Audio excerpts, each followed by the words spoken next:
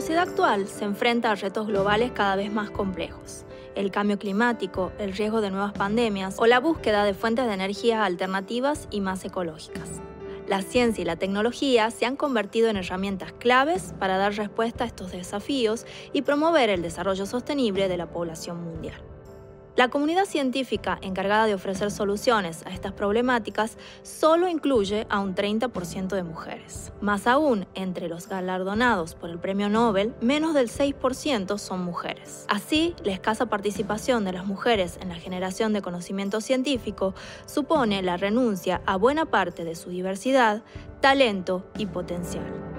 En el imaginario popular, una persona que se dedica a la ciencia es representada como un hombre blanco, con anteojos, anciano, medio despeinado y con cara de loco, que vestido con delantal se encuentra en soledad dentro de un laboratorio rodeado de tubos de ensayos y probetas.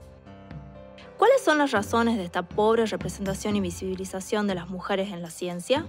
Mi nombre es Virginia Albarracín. Soy científica, bióloga, investigadora del CONICET y mamá de Raulito y esto es Ciencia con M, historias que rompen el cristal. Una manera de romper con los sesgos de género es visibilizar el trabajo de las científicas y sus aportes locales e internacionales a la construcción del conocimiento. Elisa y María Eugenia son científicas tucumanas de reconocida trayectoria que reflexionan sobre sus motivaciones, dificultades y elecciones en el transcurso de sus carreras. Soy Elisa Colombo, Elisa Margarita Colombo. Soy muy de la familia, muy de mis hijos, de mis nietos y de mis bisnietos ahora. Soy muy cuidadora, me siento muy identificada con este término y tengo muchos grupos de amigos, de amigos de, la facultad, de amigos de, la vida, de amigos del vecindario. Elisa Colombo es tucumana, la tercera de siete hermanos y hermanas. Licenciada y doctora en física, pudo haber sido militante política, pero eligió dedicarse a la ciencia, siendo investigadora y profesora en el CONICET y la Universidad Nacional de Tucumán. Hizo su postdoctorado en la Universidad de Newcastle upon Tyne Reino Unido. Su trabajo científico se centró en la psicofísica, adentrándose a entender por qué vemos lo que vemos y cómo influye la luz y la iluminación en la visión humana. Se convirtió en la primera y única mujer directora del Centro Científico Tecnológico CONICET Nova Sur y hoy está a cargo de la Subsecretaría de Federalización de la Ciencia, Tecnología e Innovación del Ministerio de Ciencia Nacional. Soy científica, soy mujer, soy madre, soy abuela, eh, tengo hobbies, me encanta hacer deporte. Los últimos 30 años de mi vida los dediqué a la ciencia, pero además hice muchísimas otras cosas en la medida que la ciencia me lo permitió. A mí me mueve la pasión y yo me enamoro de las cosas que hago. Eso es lo que más me, me define. María Eugenia nació en Córdoba. Siendo chica se mudó a Tucumán siguiendo a su padre científico y se enamoró de sus cerros madre de Nico, Marco e Irina, es adepta a los deportes y a la ciencia extrema. Recorre los inhóspitos paisajes de la Puna, recolectando muestras de microorganismos, aunque eso implique sumergirse en aguas venenosas con sales y arsénico. Luego de su formación como licenciada y doctora en biología en la Universidad Nacional de Tucumán, realizó un postdoctorado en España y regresó al país en 2001. Hoy es investigadora principal del CONICET y fundó una empresa de base biotecnológica, Capur, enfocada en aplicar las potencialidades de microorganismos extremófilos en la agroindustria. Las dificultades más grandes que tuve fue cuando fue el golpe militar en el año 76, que este, el área nuestra de, física había sido muy diezmada, eh, secuestros, desapariciones, muchos que tuvieron que irse del país. En general, este, digamos, no, no me costó mucho hacer la carrera, no tuve dificultades algún que otro profesor que, te mandaba a lavar los platos o que te preguntaba por qué si sos mujer estás sentada acá, que te lo decía públicamente, era, sí, sí teníamos eso, lo vivimos. Las generaciones nuestras eh, todavía aceptamos muchas cosas sin darnos cuenta. Tomamos y naturalmente situaciones de violencia que no nos damos cuenta que son violencia. O sea, eso, eso eh, nos pasó a muchas mujeres, mirar para atrás y decir, ah, mira atrás, mira esto, a mí me hicieron callar la boca, me dijeron esto, eso fue violencia y yo no lo tomé como violencia.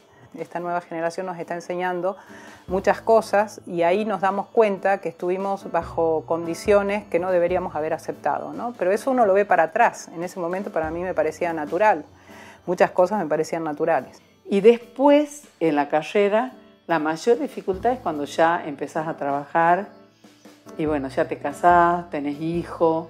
Es lo que siempre hablamos, hay una doble jornada, un trabajo que no se ve, este, los tiempos que vos necesitas para atender a tus hijos chicos, llevarlos a la escuela, traerlos, ayudarlos. O sea, la mayor dificultad tenés con ser mujer y tener esa doble jornada que siempre hablamos que está invisibilizada. Lo que fue más difícil, no más difícil, fue muy, pero muy difícil, fue haber podido llevar adelante una familia haciendo ciencia de la manera que yo la hice, porque en estos últimos 10 años la ciencia que hice me llevó más o menos el 40% de mi tiempo eh, fuera de mi casa y en lugares remotos donde ni siquiera tenía conexión a internet o ni siquiera conexión de teléfono. No era aceptado que eh, viaje tanto, que esté tanto tiempo fuera de casa, que, tenga, que sean las 12 de la noche y siga la computadora.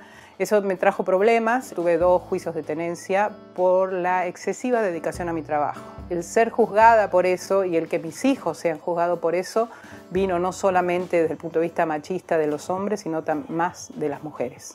Todas las medidas del trabajo de la mujer todas las medidas, con pequeñas muestras, con grandes muestras, más economicistas, menos, todas conducen a los mismos datos. Todas muestran que hay un 30, un 40% más de trabajo respecto del trabajo del varón. Hay un tema real, que cuando va, te van a elegir para algunos trabajos, como sos mujer no te eligen, no te eligen porque vas a ser mamá, entonces ya te tienen que dar licencia por el embarazo, después se te va a enfermar un chico, vas a pedir licencia por eso. Entonces no te eligen porque todas estas cosas no están consideradas como de todos. Y esto es lo que como sociedad tenemos que cambiar. Para mí es muy importante las redes, ya sean de las personas que te ayudan a cuidar tus hijos, y vaya una mención enorme a esa gente silenciosa, esas mujeres silenciosas que ayudan a otras mujeres a llevar adelante la crianza de hijos, por ejemplo esta casa la llevamos adelante entre los tres, Irina, Marco y yo. Los chicos hacen las compras, los chicos deciden qué se va a cocinar y esa, esa división de tareas, esa responsabilidad, no es solamente el criado de los hijos y el cuidar a los hijos, porque los hijos son chicos durante poco tiempo. Después los hijos tienen que ir tomando responsabilidades y en el medio de eso los vamos educando para que cuando ellos, sobre todo los varones, formen una familia, también sean responsables. Sabemos que la participación y poder de injerencia de la mujer en la esfera política, social y económica global es abrumadoramente menor a la participación masculina. En la ciencia y la academia, la situación no es mucho mejor. Por ejemplo, en Argentina, las mujeres representamos casi el 60% del total de los investigadores y en Tucumán el 67%. Sin embargo, la presencia de investigadoras en puestos de mayor jerarquía disminuye abruptamente en ambos casos. Este fenómeno, conocido como techo de cristal o piso pegajoso, implica que cada vez que las condiciones profesionales son más ventajosas, con mayores salarios o con mayor poder de decisión, menor proporción de mujeres accederán a ellos.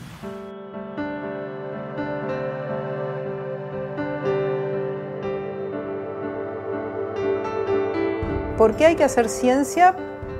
Porque es el futuro y porque es la única forma de salir adelante y la revolución tecnológica se viene. Si nosotros vamos fortaleciéndonos con nuestro desarrollo, con nuestro científico, es una herramienta valiosísima para el país.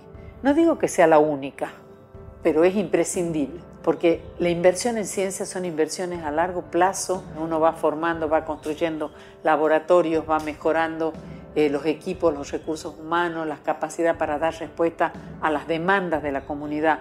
Y eso requiere muchísima continuidad y mucha inversión y mucho horizonte. ¿A dónde vamos? ¿Para qué?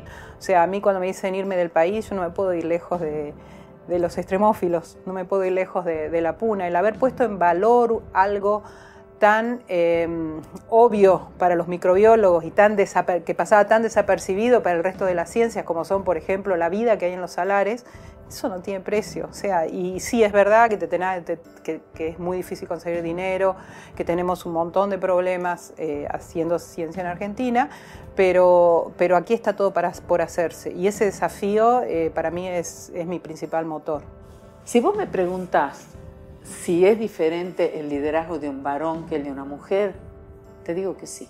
Creo que el liderazgo de la mujer agrega una mirada que al varón todavía le falta, que es una mirada integral de lo que vivimos. somos, este, somos personas que enfrentamos un mundo de dentro de la casa y de fuera de la casa. Las mujeres que llegan a, puestos líderes se la tuvieron que pelear muchísimo más.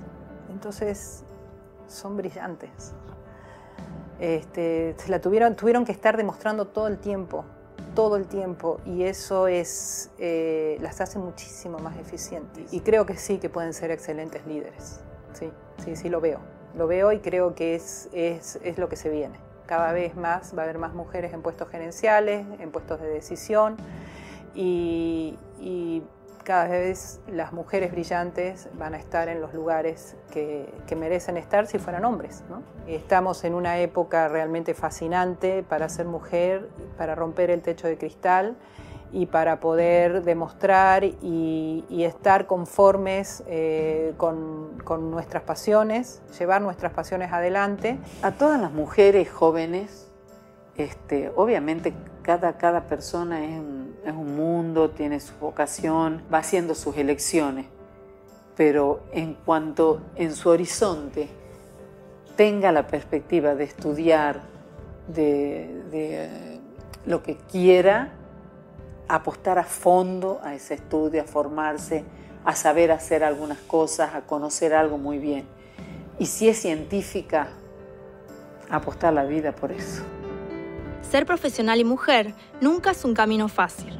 Algunas barreras en el camino son visibles, como la doble jornada laboral, con las tareas de cuidado recayendo asimétricamente sobre nosotras por mandato social, familiar y hasta personal.